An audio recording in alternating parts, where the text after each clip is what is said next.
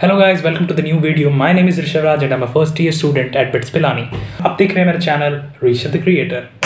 तो यार ये वीडियो है इस BITS Pilani only for rich people तो यार ये वीडियो का आइडिया मेरे दिमाग में कैसे आया? तो ऐसे आया कि मैंने बहुत सारे कमेंट्स पढ़े वीडियोस पे जहाँ ऐसा लिखा हुआ था कि फ़ीस बहुत ज़्यादा है बिट्स की and we can't afford it many people कुछ लोगों से मैंने बात भी की अपने कुछ जूनियर्स से या फिर अपने कुछ दोस्तों से जिन्होंने ड्रॉप लिया है, वो लोग ऐसा बोल रहे थे कि they are not filling the BITSAT form just because its fees is very very high तो यार मतलब एक जनरल डिस्कशन मैं करना चाहूँगा आपके साथ, वो ये है कि आपको नहीं लगता है कि आई आई जेई ही सिर्फ़ रिच पीपल के लिए है, जिस तरह से इसका बिज़नेस चल रहा है? मतलब आप सोचिए कोचिंग चार से पाँच लाख रुपए लेते हैं। बड़े बड़े कोचिंग में बहुत ज़्यादा पैसा लगता है। ये बात अलग है कि स्कॉलरशिप्स ज़रूर वो देती हैं but that is the thing education is turning in to a business. So सबसे पहले अगर हम बात करें सिंपल बात की, बिट्स पिलाने की फ़ीस इतनी ज़्यादा हाई क्यों है? तो यार, सबसे पहले तो ये कम्प्लीटली प्राइवेट ऑर्गेनाइजेशन है और गवर्नमेंट फंडिंग इसको नहीं मिलती है and it does not follow many government norms like reservation which also makes it a bit different from the other colleges जो कि अच्छा है। But on the flip side इस वजह से इसकी फ़ीस बहुत ज़्यादा हो जाती है। मतलब आप मान सकते हैं, जो मेरा 2021 बैच है 2021 से 25 जो मेरे फोर इयर्स का कोर्स है, मेरे को अराउंड अगर मैं टोटल फ़ीस कंसिडर करूँ हॉस्टल फ़ीस वगैरह सब कुछ लेके एंड एवरीथिंग ए टेक जो हम लोग के कुछ practice school you know internship वगैरह प्रोवाइड किया जाता है सेकेंड ईयर और फोर्थ ईयर में, अगर मैं सब कुछ का एक अप्रॉक्स मानूँ that will be around twenty four lakhs so that is very very high you know so क्या इस वजह से आपको बिट्स को कंटेंशन में रखना ही नहीं चाहिए? अगर आप फाइनेंशियली उतने स्टेबल नहीं हैं। तो यार मैं आपको बताना चाहूँगा, मैं भी फाइनेंशियली बहुत ज़्यादा स्टेबल नहीं हूँ और मेरे फादर का भी इनकम अराउंड टेन लाख या उससे कम का ही है। तो यार मैं आपको बताना चाहूँगा कि बिट्स पिलानी एक प्रीमियर इंस्टीट्यूट है, जैसा कि हम लोग सब जानते हैं and it comes in to the tier one तो इस वजह से S B I scholar loans और उसी तरह के बहुत सारे लोन्स भी ऑफ़र किए जाते हैं एजुकेशनल लोन जो आपको बीस लाख से कुछ कुछ बैंक्स तीस लाख तक भी देते हैं लोन जिसमें रेट ऑफ़ इंटरेस्ट दूसरे लोन्स जो नॉर्मल लोन है, उससे बहुत कम लगता है। जैसे कि नॉर्मल लोन्स में 8.9 या 9 परसेंट ऐसा कुछ लगता है बट हमें वो 6.9 परसेंट पर मिलता है which I am availing right now I am availing education loan from S B I scholar loan okay so वो मुझे 6.9 परसेंट पे देती है and I have taken a loan of 20 lakh rupees तो अगर मैं बात करूँ और सब यूनिवर्सिटीज़ की, जो कि बिट्स के टक्कर में आती है, यानी कि आईआईटी और एनआईटी तो आईआईटी और एनआईटी की फ़ीस करीब करीब आप मान सकते हैं ट्वेल्व थर्टीन लाख के आसपास की है and if I talk about G F T जो कि गवर्नमेंट फंडेड टेक्निकल इंस्टीट्यूट्स है, उनकी फ़ीस भी फिफ्टीन सिक्सटीन लाख की है, जैसे कि बी आई टी मिश्रा जो हमारे रांची में ही है। तो उस तरह के इंस्टीट्यूट्स की भी फिफ्टीन सिक्सटीन लाख है। But after all this talk जो मेरा मेन मुद्दा है कि बिट्स सिर्फ़ रिच लोगों के लिए हैं क्या हम जैसे लोग सिर्फ़ एजुकेशन लोन लेके पढ़ सकते हैं और कोई बेनिफिट नहीं हमें? तो यार मैं आपको बताना चाहूँगा कि बिट्स ने एक बहुत अच्छी स्कीम जो निकाली है मतलब इस साल नहीं निकाली, बहुत पहले चल रहा है। सो so, ये वन ऑफ़ द रीजंस था क्योंकि मैंने इस कॉलेज में एडमिशन लिया। मतलब एट लास्ट मेरे को मन था इस कॉलेज में आने का बट डाउट यही था कि अ, मैं ये अफोर्ड कर पाऊँगा कि नहीं। तो ऐसा होता है कि अगर आपका इनकम आपके पेरेंट्स का 11 लाख से कम का है जो फ़िलहाल जो कट ऑफ़ चल रहा है 11 लाख वो हर साल जिस तरह से जैसे ही इनकम बार यू नो थिंग्स रेज होती हैं वैसे वैसे इसका भी एक कट ऑफ़ बढ़ता है। तो जैसे जैसे मतलब जो उस लिमिट के हिसाब से आपको एक स्कॉलरशिप मिलती है। तो द स्कॉलरशिप इज़ सिंपली कि आपके ट्यूशन फ़ी पे आपको 25 परसेंट फोर्टी परसेंट या 80 परसेंट मिलता है। और इसका नाम है merit cum need scholarship that is M तो मेरिट मतलब आपको पढ़ाई में कुछ करना पड़ेगा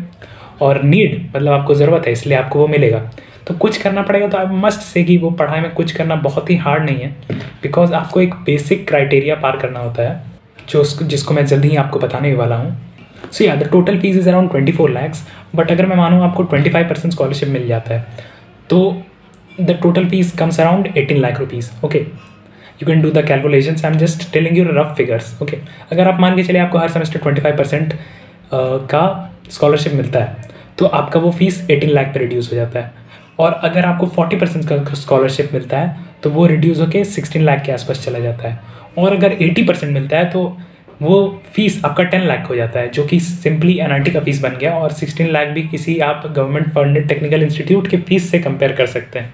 So yeah so M C N makes life easier तो कितने लोग बिट्स पिलानी में मेरिट कम नीट को अवेल कर रहे हैं फ़िलहाल? तो मैं आपको बताना चाहूँगा मेरिट कम नीट का जो इस बार का जो लिस्ट आया था,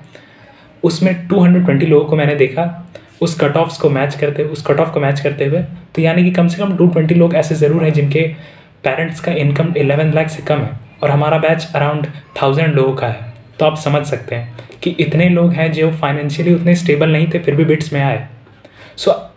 the main reason for making this video is की आप बिट्स को सिर्फ़ इसलिए मत छोड़िए या फिर बिट साइड सिर्फ़ इसलिए मत दीजिए क्योंकि आप फाइनेंशियली स्टेबल नहीं है। बिकॉज़ एक बार आप बिट्स में आए तो थोड़ी मोड़ी पढ़ाई करके you can reach you can get a specific amount of